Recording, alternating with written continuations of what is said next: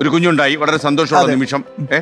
പക്ഷെ ഈ കുഞ്ഞിനെ കാണുന്ന ഒരു നാലു മാസം ആയി. അതെ സർ. ആമി. ആമി. അല്ലേ? ഒരു മകൾ. ഒരു മകൾ അല്ലേ? അപ്പൊ ആമിയെ കാണാൻ നാല് മാസം എടുത്തു. എന്തിന്? അല്ലെ എന്തുകൊണ്ട്? സർ ആമി ഉണ്ടാകുന്ന മുതലേ നമുക്ക് ഭയങ്കര ഒരു പ്രതീക്ഷയായിരുന്നു. കാരണം ഒന്നാമത് നമ്മൾ എല്ലാവരും പറയാറുണ്ട് നമ്മുടെ മക്കൾ നമ്മളെ പോലെ ആവണം. അങ്ങനെ നമ്മൾ എല്ലാവരും പറയല്ലേ പക്ഷെ ഞാൻ എപ്പോഴും പ്രാർത്ഥിച്ചിരുന്നത് ഒരിക്കലും എന്റെ കുട്ടി എന്റെ പോലെ ആവാൻ പാടില്ല. ആകാൻ പാടില്ല. കാരണം ഭയം ചിലപ്പോൾ നമ്മുടെ ഉള്ളിൽ ചേക്കേറാനും ഒരുപാട് ഒരുപാട് ഉണ്ടായിരുന്നു മനസ്സിലാവുന്നുണ്ട് ആ അത് അതൊരു അവസ്ഥയാണ്. സാർ നമുക്കത് എക്സ്പ്ലെയിൻ ചെയ്യാൻ പറ്റില്ല. എല്ലാവരും വിചാരിക്കും പക്ഷെ അവന് വൈഫിലെ കുട്ടികളില്ലേ സ്നേഹം ഭയങ്കര സന്തോഷമില്ല എന്നൊക്കെ. അതൊക്കെ ആണെങ്കിൽ പോലും നമുക്ക് ഒരു ഭയം നമ്മളെ പിടികൂടും. പിടികൂടും. തീർച്ചയായും. ഇങ്ങനെ സംഭവിച്ചാലോ എന്നുള്ളത്. ഭയങ്കര ബുദ്ധിമുട്ടാണ്. നമുക്ക് ജീവിക്കാൻ ഭയങ്കര ബുദ്ധിമുട്ടാണ് അങ്ങനെ സംഭവിച്ചാൽ മലയാളത്തിൽ ചില സിനിമകളും ഒക്കെ ഇറങ്ങിയിട്ടുണ്ട് ഈ പേടി കൂട്ടാൻ. എനിക്ക് തോന്നുന്നു ആ സിനിമയുടെ പ്രമേയം എന്ന് പറയുന്നത് കാഴ്ചയില്ലാത്ത അവർക്കുണ്ടാകുന്ന കുട്ടിയും അങ്ങനെ തന്നെ ജനിക്കുന്നു. അതെ. ഈ സിനിമകൾ ഈ വിഷ്വൽ മീഡിയ ഉണ്ടാക്കുന്ന ഇമ്പാക്ട് നമ്മൾ മനസ്സിലാക്കുന്നതിനൊക്കെ വളരെ അപ്പുറമാണ് അതെ കാര്യം ഒരു ദൃശ്യം നമ്മുടെ ഹൃദയത്തിലേക്ക് തറച്ചു കയറിയാൽ പിന്നെ അത് ഊരിക്കൊണ്ട് പോകാൻ പറ്റത്തില്ല. അതെ അതെ. അപ്പൊ അതൊക്കെ ഒരു കാര്യമോ അപ്പൊ ഇത് പറയൂ. എന്നിട്ട് സാധാരണമായ നമ്മൾ സ്കാൻ അകാരണമായ ഒരു പേടി നമ്മളെ പിടികൂടും. പ്രത്യേകിച്ചത് താങ്കളെക്കാളും എനിക്ക് തോന്നുന്നത് ഷഹീനയ്ക്കായിരിക്കും. ഷഹീനയല്ലേ? ഷഹാന. ഷഹാന. ഷഹാനയ്ക്കായിരിക്കും പേടി കൂടാൻ സാധിക്കും സാധ്യത എപ്പോഴും ഒരു മാതൃത്വത്തിനായിരിക്കും പേടി കൂടുക.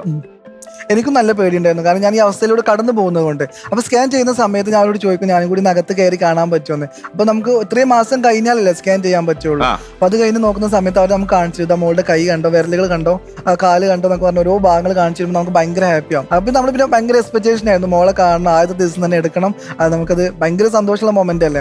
അങ്ങനെ പ്രതീക്ഷിച്ച് നിൽക്കുന്ന സമയത്താണ് വൈഫിന്റെ വീട് കോട്ടയായതുകൊണ്ട് നമ്മൾ വൈഫ് നേരത്തെ അങ്ങോട്ട് പോകുമല്ലോ എട്ടാം മാസം ആകുമ്പോഴത്തേനും കോട്ടയത്തേക്ക് പോകും. നമ്മൾ മലപ്പുറത്തല്ലേ? അപ്പൊ നമുക്ക് അവിടെ ഡെലിവറിയുടെ ദിവസം എത്താമെന്ന പ്ലാനിങ്ങിലായിരുന്നു നമ്മൾ നിൽക്കുന്നത്. അപ്പൊ അങ്ങനെ രാത്രി വിളിച്ചിട്ട് എന്നോട് പറഞ്ഞു നാളെ സിസേറിയൻ വേണമെന്നാണ് ഡോക്ടർ പറഞ്ഞത്. ഒരുപാട് താമസിപ്പിക്കേണ്ട പ്രശ്നമാണെന്ന് പറഞ്ഞപ്പോൾ നമ്മൾ ഓക്കെ സിസേറിയൻ ചെയ്തു. നമ്മൾ രാവിലെ അവിടെ എത്തിക്കോളാം എന്ന് പറഞ്ഞു. രാവിലെ ഒരു അഞ്ച് മണിയൊക്കെ ആകുമ്പോഴത്തേക്കും നമ്മൾ രാവിലെ ഇവിടെ നിന്ന് എണീറ്റ് ഫ്രഷ് ആയി നേരെ പോയി. നമ്മൾ തൃശ്ശൂർ എത്തുന്ന സമയമായപ്പോൾ അനിയനായിരുന്നു വണ്ടി ഓടിച്ചിരുന്നത്. നമ്മൾ കാറ് ഒരു ലോറി ആയിട്ട് ഇടിച്ചു. ഞാൻ എന്റെ ജീവിതത്തിൽ ആദ്യമായിട്ടാണ് വണ്ടി ഇങ്ങനെ ഇടിക്കുന്നത്. അത് നമ്മൾ ആക്സിഡന്റ് കാണുന്നത് ആയി? ആക്സിഡന്റ് ആയിപ്പോയി ഞാനും അനുഭവിക്കുകയും കാണുകയും ചെയ്ത നിമിഷമായിരുന്നു അതെ. തല തല മേജർ ആക്സിഡന്റ് ആയിരുന്നു അതോ? വണ്ടിക്ക് അത്യാവശ്യം മുമ്പ് മുമ്പ് ഭാഗം ബോണറ്റ് ആ ഏരിയക്ക് അത്യാവശ്യം നന്നായിട്ട് കേട് വന്നു. വലിയൊരു കേട് വന്നു. നമ്മൾ പരസ്പരം തലകളൊക്കെ കൂട്ടിയിടിച്ചിട്ട് എനിക്ക് കുറെ സമയത്തേക്ക് ഒരു ഓർമ്മയില്ലായിരുന്നു. എങ്ങോട്ടാണ് ഈ വന്നതെന്ന് ഓർമ്മയില്ലായിരുന്നു. ഞാൻ എങ്ങോട്ടാ പോകുന്നതെന്ന് ഓർമ്മയില്ല. അവിടെ തന്നെ അമല ഹോസ്പിറ്റലിലേക്ക് നമ്മളെ ആക്കി തൃശ്ശൂർ തന്നെ. അപ്പൊ നമുക്ക് കുറെ സമയത്തേക്ക് ഒരു ഓർമ്മയൊന്നുമില്ല. പിന്നെ വൈകുന്നേരം ഇങ്ങനെ ഒരു ഓർമ്മ വരുന്ന സമയത്താണ് അറിയുന്നത്. സിസേറിയൻ കഴിഞ്ഞു പെൺകുട്ടാന്നൊക്കെ പെൺകുട്ടിയാണൊക്കെ അറിയുന്നത്. അപ്പോൾ അന്നേരം നമുക്ക് സങ്കടം എന്ന് വെച്ചാൽ ഡോക്ടർ പറഞ്ഞു ഇരുപത്തിനാല് മണിക്കൂർ ഒബ്സർവേഷൻ കഴിഞ്ഞ് പോയാൽ മതി. ഇനിയിപ്പോൾ ബ്ലഡ് ക്ലോട്ടിങ് എന്തെങ്കിലുമൊക്കെ ഉണ്ടാവുകയാണെങ്കിൽ റിസ്ക് ആവും യാത്ര ചെയ്യുന്നെന്ന് പറഞ്ഞു. നെക്സ്റ്റ് ഡേ ലോക്ക്ഡൌൺ ആണ്. ലോക്ക്ഡൌൺ ആവുമ്പോൾ നമുക്കറിയാം ഇനി എന്തായാലും അങ്ങോട്ട് പോക്ക് നടക്കില്ല അവന്റെ ലൈഫിൽ ഞാൻ ഒരിക്കലും ആഗ്രഹിക്കാത്ത ഒരിക്കലും ഒരിക്കലും സംഭവിക്കരുത് എന്നൊക്കെ നമ്മൾ സ്വപ്നത്തിൽ പോലും ചിന്തിക്കാത്ത കാര്യങ്ങളാണ് സംഭവിച്ചത്. അത് നമുക്ക് ഉൾക്കൊള്ളാൻ കുറച്ച് സമയം എടുത്തു കാരണം മോൾ എങ്ങനെയാണെന്ന് അറിയില്ല. പിന്നെ ആദ്യമായിട്ട് മോളുടെ ഒരു ഫോട്ടോ കാണുന്നത്. അതും ഡെലിവറി സമയത്തല്ലേ? ഡെലിവറി കഴിഞ്ഞ് വൈകുന്നേരം പിന്നെ ഞാൻ വീട്ടിൽ എത്തിയിട്ടൊക്കെയാണ് ഞാൻ ഫോട്ടോ കാണുന്നത്. അതൊരു ഭയങ്കര ഒരു ഭയങ്കര ഷോക്കിംഗ് ആയിരുന്നു. അത് ഉൾക്കൊള്ളാൻ കുറച്ച് സമയം എടുത്തു കാർ കേടായതിനേക്കാളും അല്ലെങ്കിൽ നമുക്ക് കുറെ സമയത്തേക്ക് ഓർമ്മയില്ലെങ്കിൽ പോലും ഈ ഒരു മൊമെന്റ് ഭയങ്കര ഒരു ഫീലിംഗ് ആയിരുന്നു. പിന്നീട് അതിന് ശേഷം ഞാൻ യാത്ര ചെയ്യുമ്പോൾ യാത്രയിൽ ഞാൻ ഉറങ്ങൂല. എനിക്ക് ഉറങ്ങാൻ പേടിയാണ് ഞാൻ അന്ന് മുതൽ ഇപ്പൊ ഏകദേശം ഒന്നര വർഷമായിട്ട് ഞാൻ എവിടെ യാത്ര ചെയ്യണം ഞാൻ ഉറങ്ങൂല. അല്ല അന്ന് ഞാൻ ഉറങ്ങി പോയപ്പോൾ എന്താ സംഭവിച്ചു വെച്ചാൽ എല്ലാവരും ഉറങ്ങിപ്പോയി. അപ്പൊ അനിയനും അറിയാതെ ഉറങ്ങി ഉറങ്ങിപ്പോയി.